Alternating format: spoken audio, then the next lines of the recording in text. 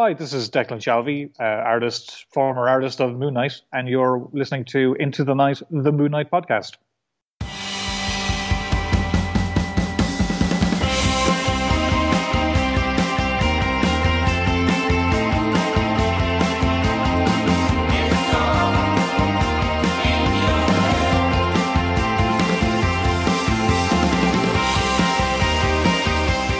Yes, welcome back, loony listeners. You are listening to Into the Knight, the Moon Knight podcast. This is episode 221, and you are with your High Priest of Khonshu, Rey G'day. And this is a feedback episode, uh, much to do with the recent release of Moon Knight, Moon Knight 1 uh, by Jed MacKay and Alessandro Cappuccio.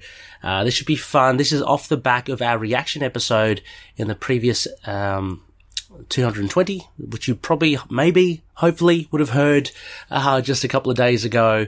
Uh, and uh, I just gave it a couple of days to, to get some feedback in from you, the loony listeners, uh, so I could go through it and, and share your thoughts as well and, and see how you reacted to this first issue.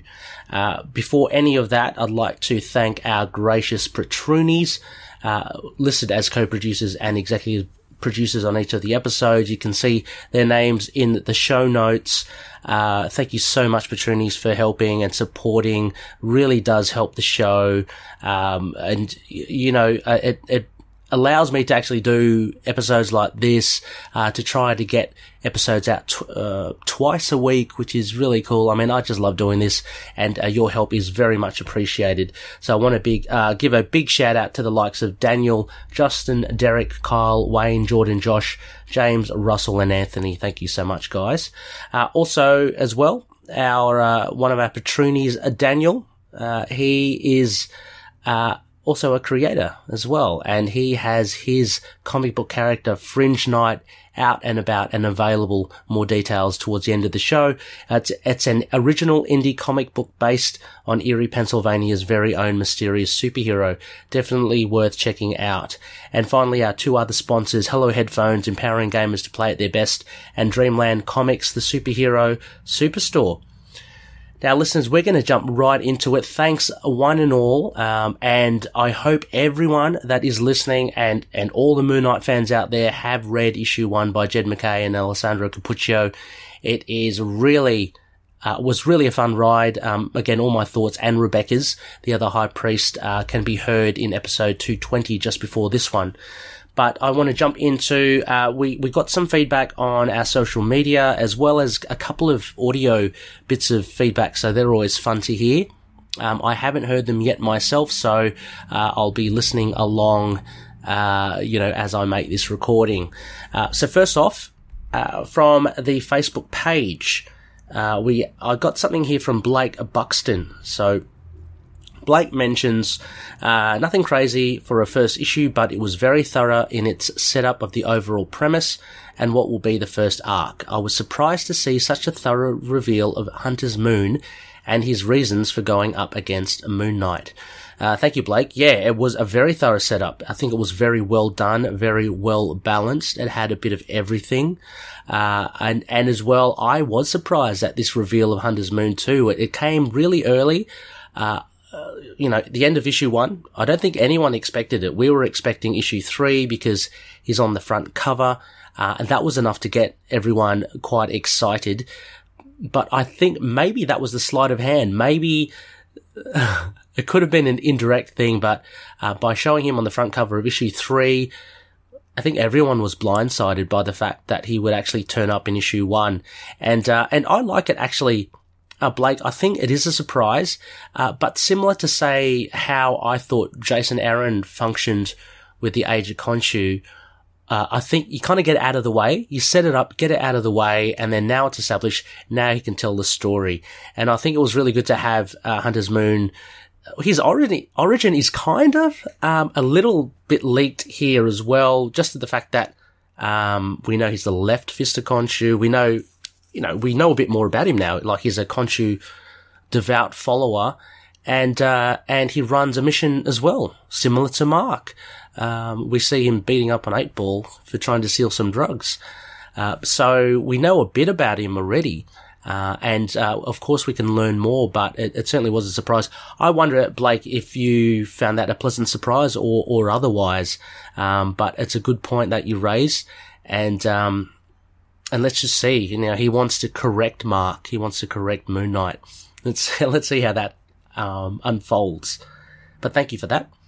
Uh, next, we go onto our Facebook page, and this is where a uh, Facebook sorry group, and this is where, where we get uh, most of our feedback. So I want to um, kick off here with with a Patruni, Jordan, Jordan Haggerty. Hi, Jordan. A big shout out to you, and thank you again. Thank you so much for being a Patruni. And Jordan says issue one did a good job of simple recap, but also had plenty of action, fun little moments, and set up for the future of our protagonist, as well as two antagonists. Very well executed. I'm loving the art too. Uh, yeah, thank you, Jordan. I think uh, basically you, you summarized what Rebecca and I had said, um, to a T. It was, there was a very simple recap you know, to help out for any new fans, but it had plenty of action in between, so it kept the pace going. It had fun little moments and it set up future, uh, like it had twists and stuff that set up for future stories, um, and will have us guessing as well. And it gave us not one, but two antagonists. So, whew, you know, Jed, he did have those 10 extra pages, but he, did he fill them up or what? Um, fantastic and, and agree. Totally very well executed. Loving the art. I mean, I, I mentioned my thoughts on the art as well, um, back in the, the episode with Rebecca. Uh, but yeah, I mean, it was, it was very good, very good to look at. Uh, so thank you very much there, Jordan. Uh, next we have another, uh, another semi-regular loony that comes on the show and, and has participated in stuff like our ITK serial adventure don't worry, I haven't forgotten about it. It is coming towards the end of July, the next episode. Um, but this is Corey Hardiman.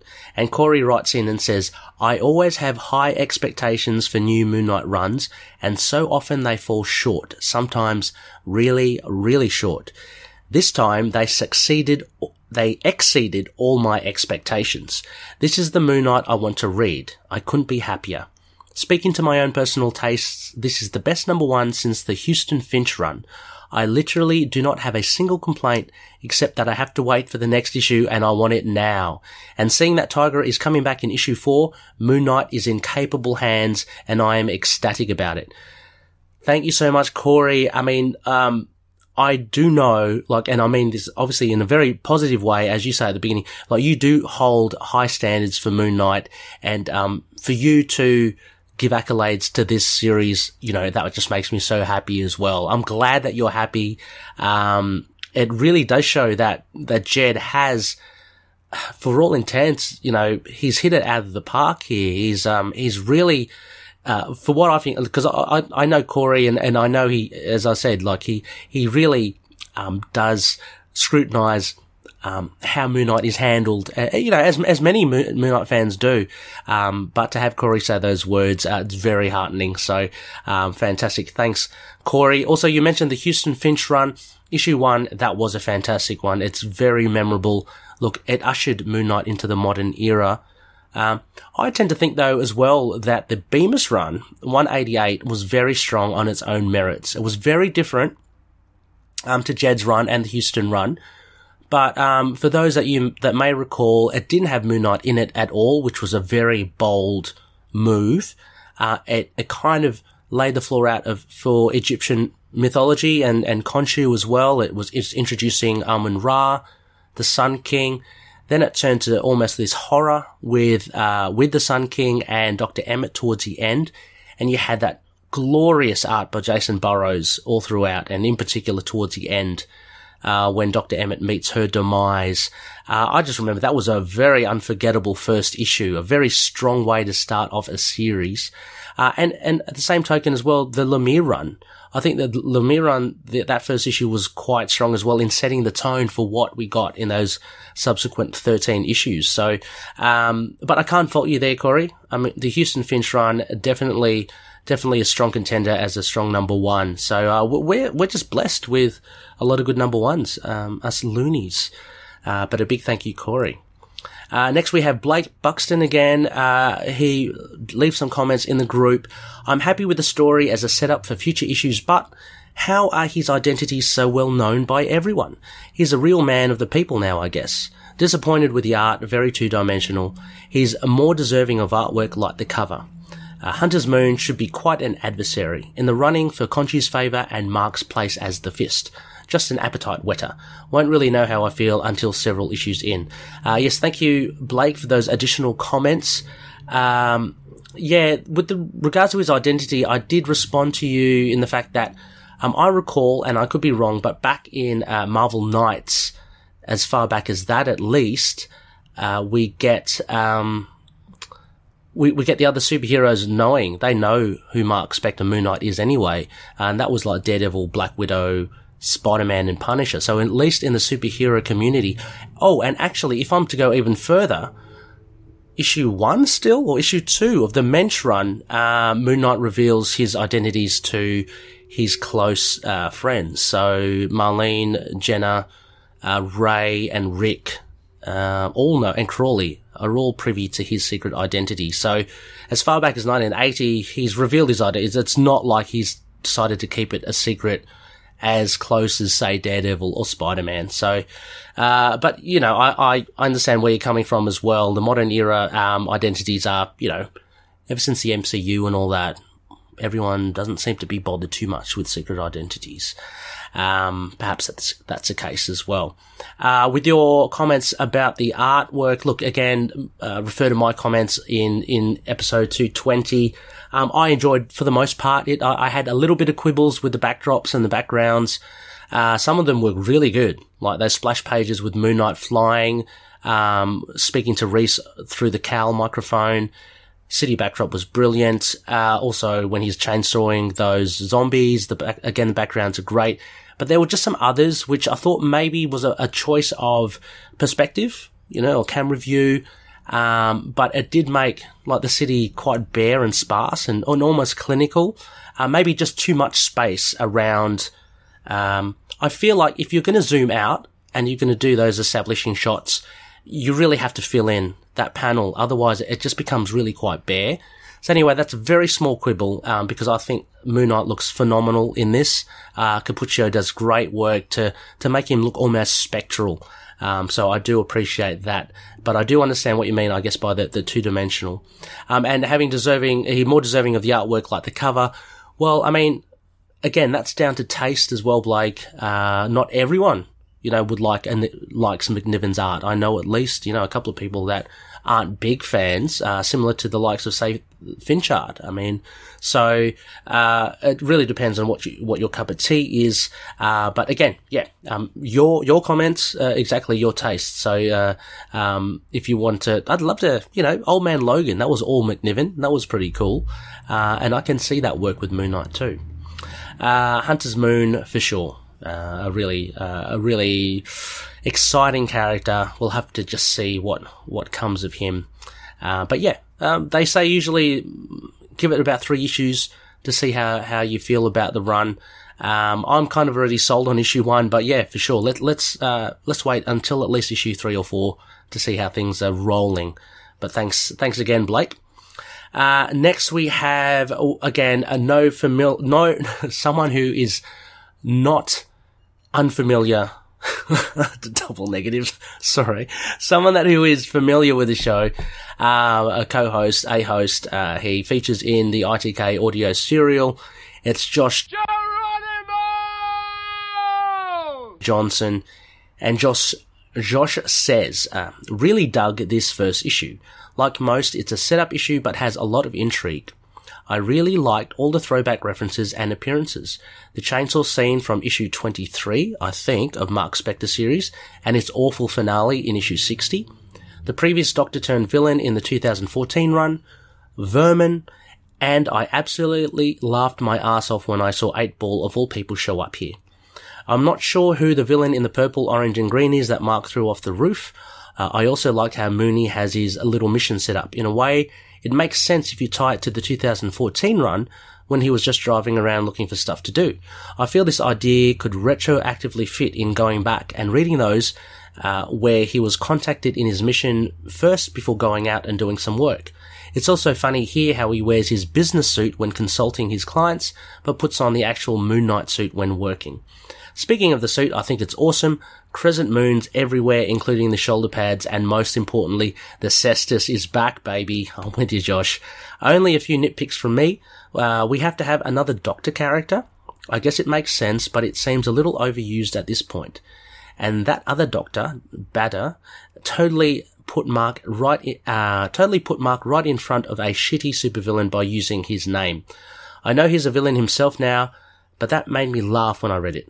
Other than that, a great first issue. Can't wait to see where it goes from here. Uh, yes, thank you, Josh, uh, for those comments. There's actually a lot to unpack here. Um, I, I, love the thoughts. Uh, some things that uh, Rebecca and I have overlooked, um, but you know, are, are, definitely worth raising. So I'm just going to go through this slowly. Uh, yeah, you mentioned the chainsaw scene from issue 23. I think there were a couple of issues in Mark Spector Moon Knight where he goes up against this almost Texas Chainsaw Massacre kind of guy. Um, I, I, thought that chainsaw scene in issue one was just Moon Knight with the chainsaw decapitating zombies. I could be wrong, but I thought that was just one of the, um, one of the, the missions that he was on. Uh, but it, it, could well be a subtle nod to the chainsaw in Mark Spector Moon Knight, which is another reference, uh, which is great to see. Uh, yeah, you mentioned about issue 60, which we called out as well. That was with uh, Mr. Knight talking about the Shadowkeep and Spectacle being blown up and Mark Spector dying. Uh, the previous Doctor turned villain in 2014, Dr. Elsa Warsame. Uh, yes, that was called out as well. Vermin, uh, yep, uh, and we see him in the guys. I mean, last I saw him was in the Amazing Spider-Man, and uh, and yeah, these these crazy Z grade villains, Eight Ball. Um, the guy that you mentioned, purple, orange, and green. I had to look him up myself. It's Oddball. He's the guy. He's the guy with the balls. He's a, he's a, he's a, apparently a very good juggler, and he can do stuff with with it. So, um, funnily enough, um, Eight Ball and Oddball are apparently good mates. They hang out at the bar with no name. They play pool together, apparently. And coincidentally, though, on Wiki, they're both dead. So Jed has resurrected them only to incarcerate one and to kill one off yet again. Uh, just looking again through here. Uh, yeah, this is another thing I thought was a really cool idea from you, Josh. Um, how Moon Knight has set up his mission and how you can actually tie it and retroactively, um, fit it into that run because we do see Mr. Knight as a consultant or in his therapy sessions, at least in the Mr. Knight suit and Moon Knight doing all the heavy lifting in his Moon Knight, you know, cowl and cape. Uh, that totally works for the 2014 run. They did it. I wonder again if that is a set, a subtle reference from Jed to that 2014 run because he does use that kind of modus operandi in issue one for Moon Knight. So that's a great pickup, I think, as well. Uh, with the suit, it's a bit more of a, an, an amped up Declan Shalvey suit by Cappuccio. I love their shoulder pads because they look like they're the big crescent darts, which you, you get in the action figures, and I've never really seen Moon Knight used in the comics. Uh, I hope he does here. I'm, I'm hoping maybe those shoulder pads are detachable. And the cestus, of course. I love those spiked knuckles. Um, long overdue, so really good to see as well. Um, so your your nitpicks um, a little a little different here. Um, uh, having to have another doctor character, I totally understand. I mean, they have been used, at least the last two runs as well with Doctor Emmett and um, and Doctor Eliza Warsame. But I feel uh, if uh, if Jed uses Dr. Sturman differently, then hopefully we'll get a point of difference. I mean, so Mark hasn't been treated well with his previous doctors. Hopefully with Dr. Sturman, she just remains just that, a psychologist, and doesn't become evil or, or bigger or badder than she seems to be. Um, for me, that would be good. Uh, because that again, that will be different from those other doctors, and let's just have her as a foil uh, in those sessions to Mister Knight. Um, yeah, and finally, yeah, I think you make that similar point to uh, to Blake about the identity reveal. So yeah, uh, Doctor Badr calls it out. He calls Moon Knight Mister Spector right in front of Eight Ball. Hopefully, Eight Ball is just too frazzled and worried about getting his face cut off. I don't know, but yeah, uh, I think Rebecca and I mentioned it as well. Maybe Dr. Badr, being a cult of Khonshu, maybe they all have a memo about, about the Fist of Khonshu and know who he is. Uh, maybe it was a slip of his tongue, or maybe he intended that as well, because we do know, as you say, he is an antagonist. Maybe he wants to really just kind of destroy or ruin Moon Knight. Uh, so there could have been like a subtle way to like, you know, leak that out to the, to the supervillain community. Um, but no, thank you so much, Josh. That was really cool, uh, feedback. I really love that. Uh, plenty to think about and glad to, to hear that you're really enjoying the issue. Uh, next up we have Jeremy Green. Now, Jeremy, um, I was, uh, I was hassling Jeremy. Uh, he, he, uh, posted something saying he's, he's almost there to get his uh, his copy of issue one. I said, "Oh, it'd be great, Jeremy, if you could leave us some some feedback." So thank you so much, Jeremy, for doing so. And Jeremy writes, uh, "That was badass. I love the art and story, and I think I'm going to like this new rival. I'm curious if he has ever had any interactions with Khonshu or has any connections at all, or uh, or if he's just a fanatic or zealot." I like the outfit though, black to Mark's white and a full moon to Mark's quarter moon. Very interesting choices, I think. Yeah, thank you, Jeremy. Um, it, they are, uh, he seems to be kind of like, almost like a polar opposite. He's the left fist to the right fist. Um, Rebecca did note that Mark may have a new moon. If you look under the chest plate, there is a, a, a black circle under there. Uh, so that again could be the complete opposite to, to, uh, Hunter's moon's full moon on his forehead. Um, and as for what he is, look, it's all up to assumptions now, uh, until we get more. I reckon he is well, I, I, don't know. I reckon he might be appointed by Khonshu, but then if you think about it, all those times that Khonshu was dogging Mark to actually do a better job, um, and threatening to replace Mark, I reckon he wouldn't have done that if he had a left fist of Khonshu doing the work as well, unless Khonshu wants both fists kind of, you know, working well. But uh, I don't know, something tells me that he is kind of linked to, um, to Khonshu. I might be wrong. He, he could be totally in his own world, so to speak, and thinks he is connected to Khonshu, um, and has no connection with him whatsoever. Uh, but I guess we'll just have to wait and see. So very interesting. Uh, again, a good idea that you raised there, Jeremy. And lastly, we have uh, Rick, the Rick Ball special. He chimes in on the Facebook group and he said, Oh lordy, Marvel's new Moon Knight series is what Gen Y would call straight up bussin'. Well, I'm I'm Gen X, so I'm I'm too old for that for that saying, Rick. Anyway, it's smart and well crafted, and it offers something exciting for long-time readers, and it's also the perfect jumping on point to the character and his mythology. It's a very promising start that I can't wait to buy, along with whatever variant they drop. Totally agree, Rick. Um, as mentioned again, uh, we've we've mentioned it before and on the previous episode. Jed has done a, a wonderful job in balancing um, a great issue for newcomers.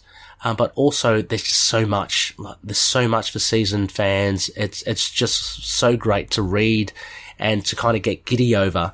So, um, totally agree with you, Rick. And yeah, variants, you know, please, as long as they're not like 40 plus, you know, I'll grab, I'll grab a handful of them. I don't know if I'll get 40 of them. Um, but they certainly do showcase lovely artwork. So, uh, you got to appreciate that. But thank you so much, Rick. Right, well, uh, we've only got a couple of other bits of feedback now, and I am going to play them for you. And uh, these come from a couple of other probably familiar voices uh, you would have heard. Uh, the first one I've got from Jack Russell. Give me a keg of beer. Moran. Um, he's the host of Tomes of Evil. He's currently doing a Moon Knight Villain Mania month. Uh, more on that later. And uh, anyway, here's Russell's thoughts on, um, yeah, on issue one. Hello, uh, Into the Knight listeners and High Priest. This is Russell, and I am so proud to finally give my feedback on Moon Knight number one. Was everything that I wanted and more. The art is absolutely fantastic. The action scenes amazing. They harken back to the uh, the Ellis run. Um, really awesome. I loved how it was written. I loved Moon Knight's voice. Um, he's not. Um, he's he's dealing with his DID. Um, he is in therapy, and he's kind of gotten a hold on this on his DID, which his therapist says that they can treat that now, which is it brings a new dynamic to the character. We got a new supporting cast. I'm sure eventually we'll see the classic supporting cast, but something fresh and something new is always cool. Um yeah, I just I love the idea of the midnight mission and Moon Knight, you know, protecting the denizens of the night. It's just it's absolutely brilliant. I cannot wait for another one. Ugh, it's going to be such a long wait. Another month. Um, I've already bought two copies of this one, a digital and a, a print one. Oh man, yeah. Um, I, I think Jed and Cappuccio just knocked it out of the park. I I have so it's just I'm stuttering here because I don't know what to say. It's just so good. I can't wait. I was more invested in this immediately than I was Max Bemis's run from the start. Um, I'm so glad we're back at street level, but with a tinge of the supernatural. It's exactly what I wanted. It was uh, so cool seeing Moon Knight not only fight vampires and arm wrestling with Frankenstein, but he was fighting vermins. Vermin makes an appearance in this, and he can clone himself. That was a nice surprise, but of course, the big surprise at the end. This is the first appearance of a brand new Moon Knight villain. This is Hunter's Moon. Oh my god. Great introduction for him. Hoping we have a very lengthy run because uh, I want to see where this uh, uh, Hunter's Moon arc goes. I'm super excited. So excited for a new villain. Um, hell yeah. Thank you so much. Uh, that's it for me and uh, High Priest. Uh, this is Russell signing off from Tomes of Evil. Thank you.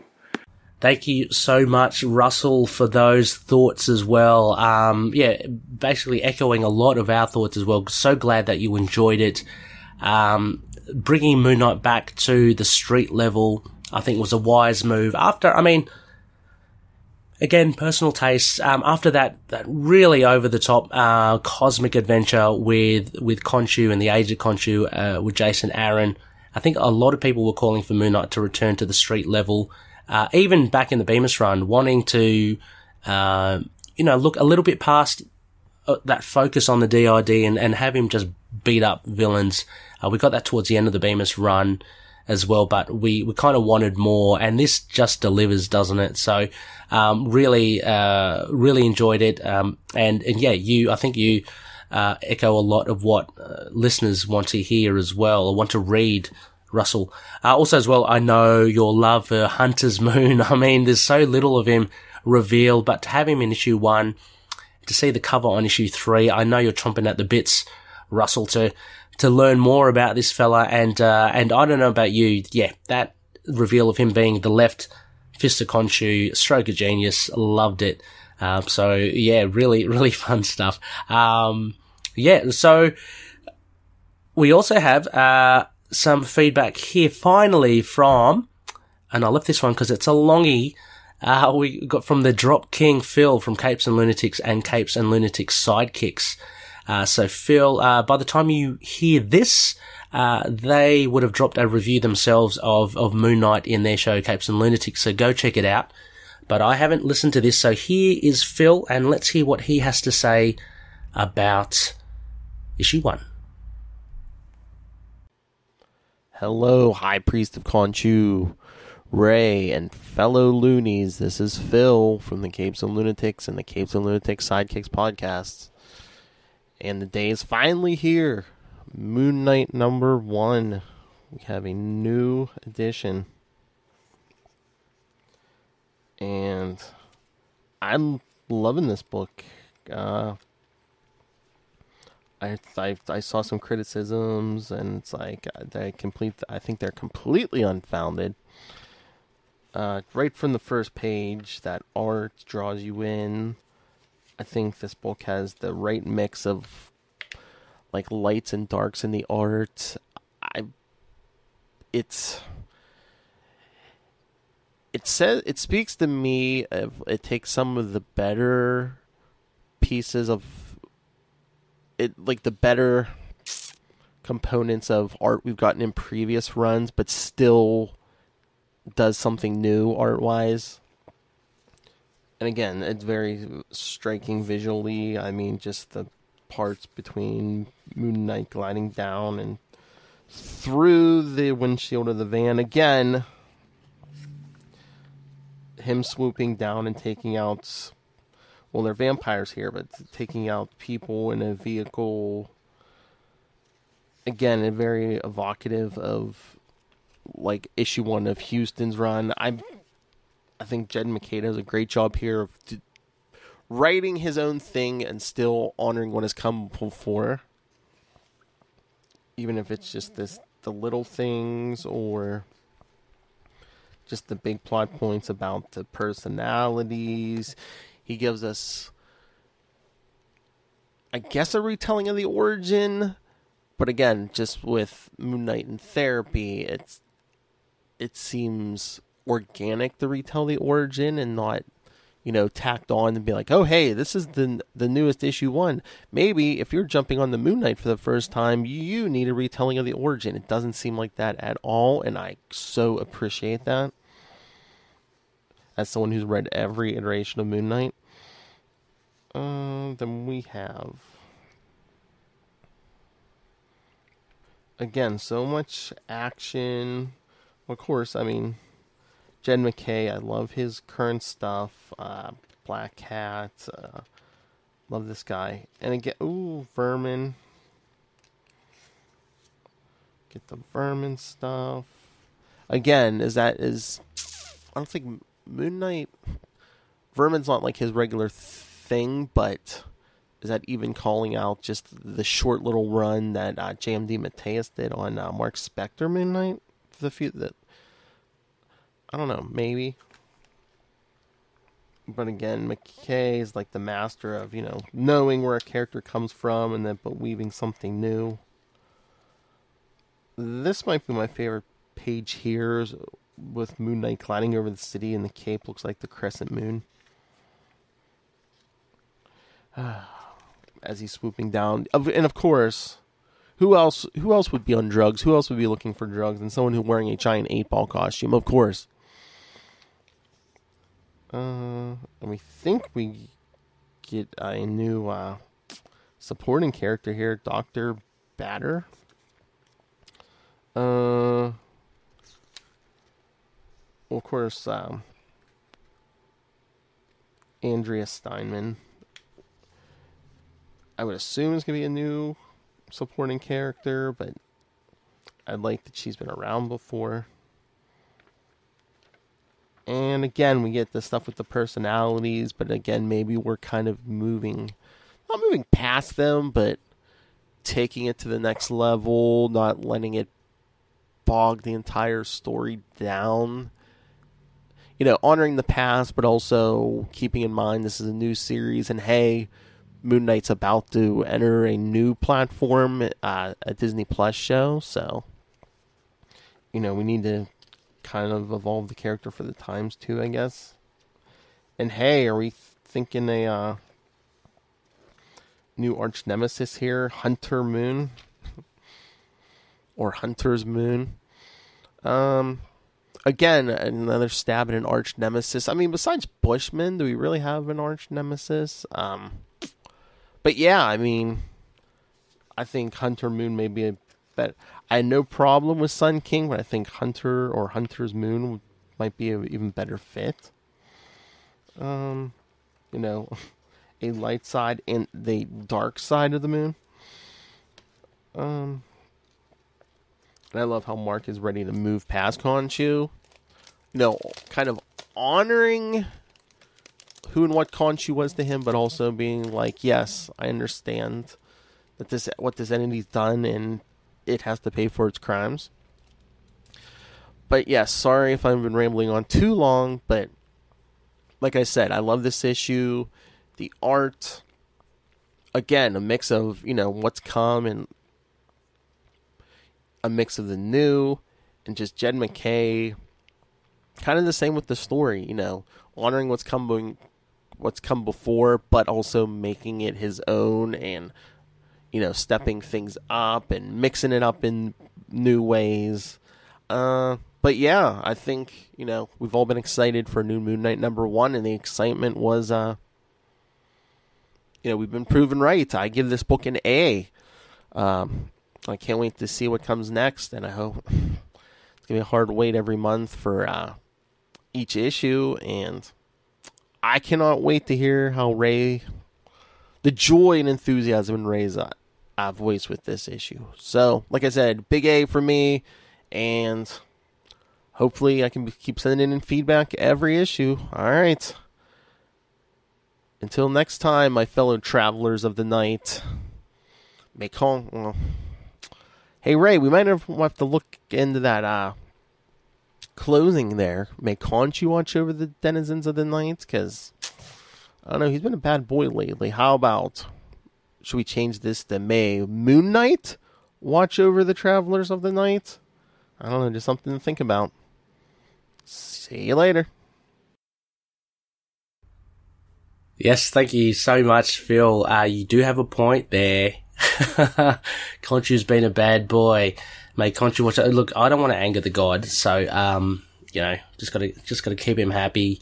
Not to say that I'm on the left fist side, uh, but yeah, interesting as well. Um, I like your point about uh, another stab at a main villain. Yeah, Bushman, uh, rightly so. Yeah, Sun King was like like a, a, polar opposite to Moon Knight as well. Now we get Hunter's Moon, uh, which is the left fist to to uh, Marc Spector's right fist. So interesting dynamics. Um, I think it's it's uh, very cool to see. Um, and as you mentioned as well, I mean all the other things that you said, uh, honoring the past as well. Uh, there's a retelling of the origin. I don't think a retelling. It was just a. It was literally like just a few word balloons and a page of Mark uh, stooped uh, at the foot of the the Khonshu statue. So it was just like a real kind of like nod and a quick, hopefully quick enough for, for any new readers.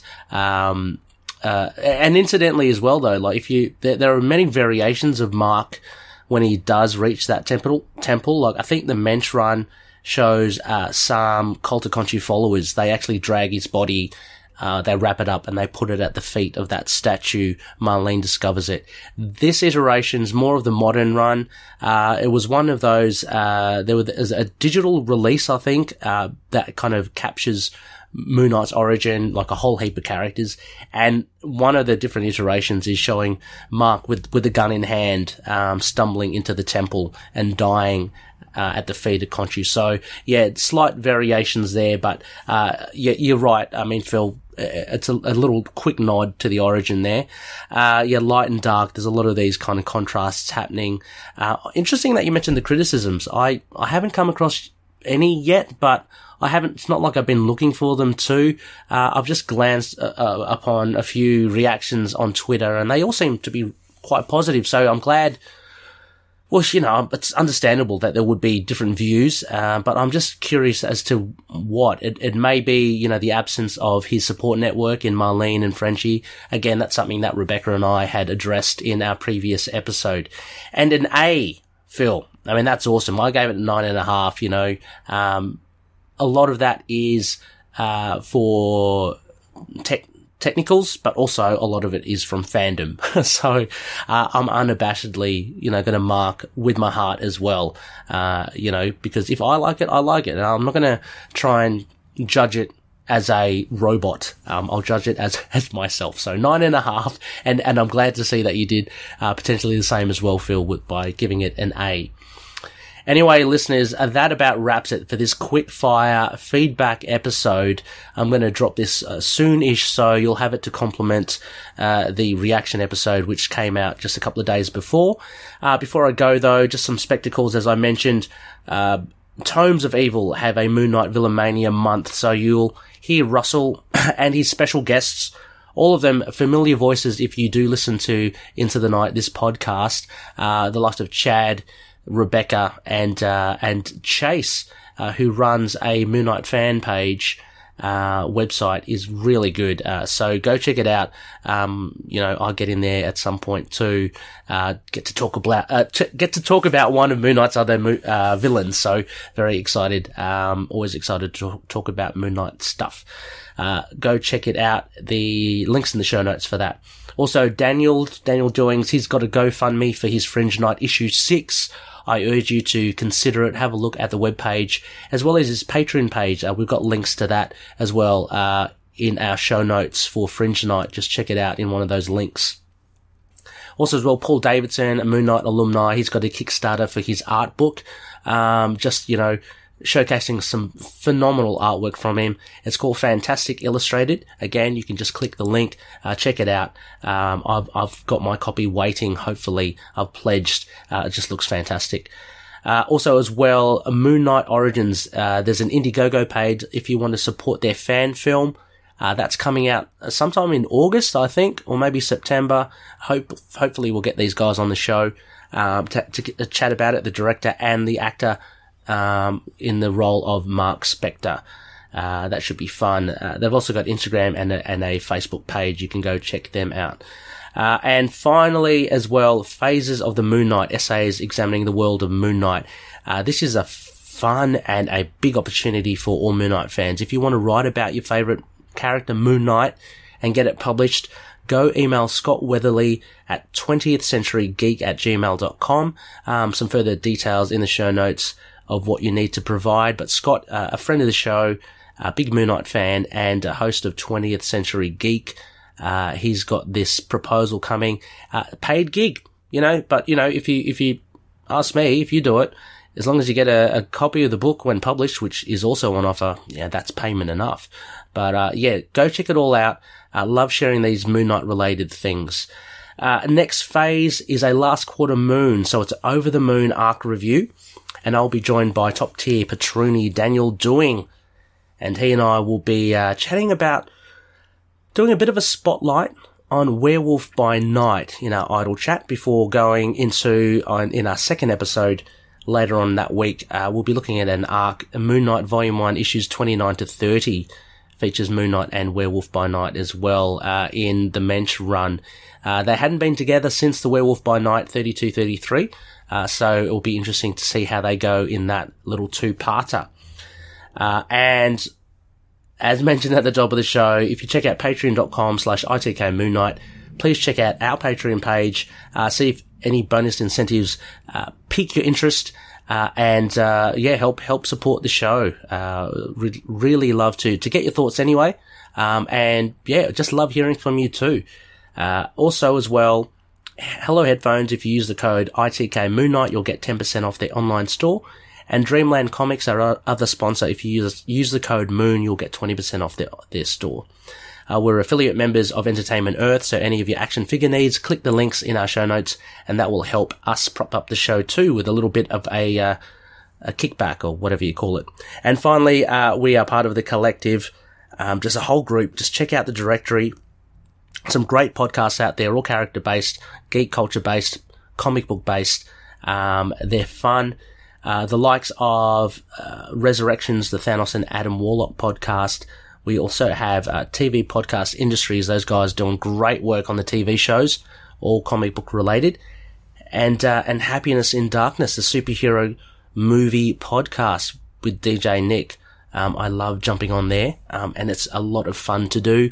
Definitely worth checking out. Incidentally, I um I do a uh, I jump on there. I've jumped on there most recently to talk about Aliens, one of my favorite films. I'm sure a lot of you, I'm assuming, would love it because it's such a classic. Anyway, you can email us at itkmoonknight at gmail.com.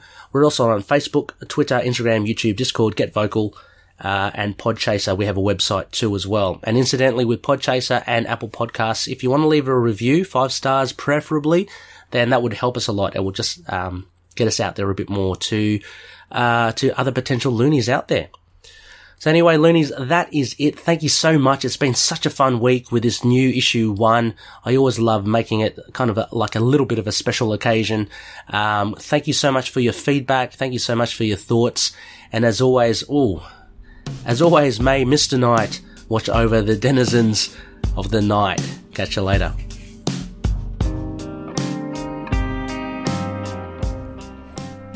Moon and affiliated characters, stories, and events are properties of Marvel Characters Incorporated.